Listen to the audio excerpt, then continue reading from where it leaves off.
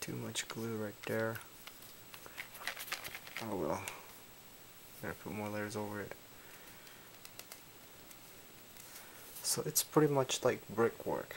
You got a seam, uh, here, there and there, you just keep adding layers over it.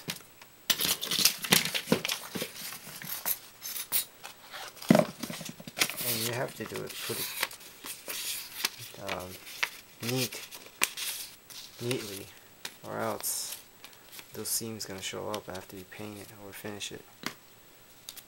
So sandpapering it is option optional but making it neat to begin with save you time and effort uh, don't need pretty flat out straight over here so I don't need that uh, let's see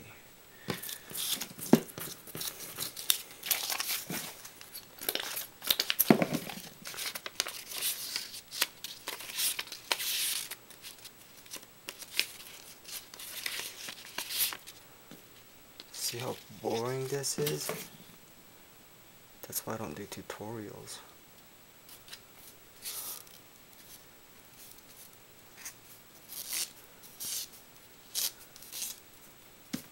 Oops.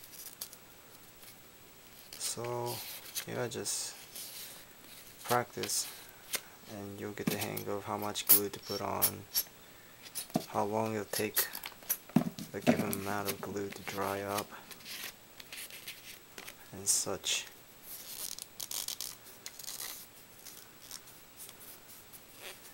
Oops, a little too much. Oh well.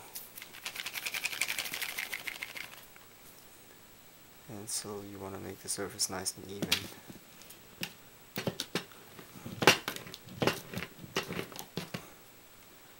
So it's gonna it should end up about that thick throughout.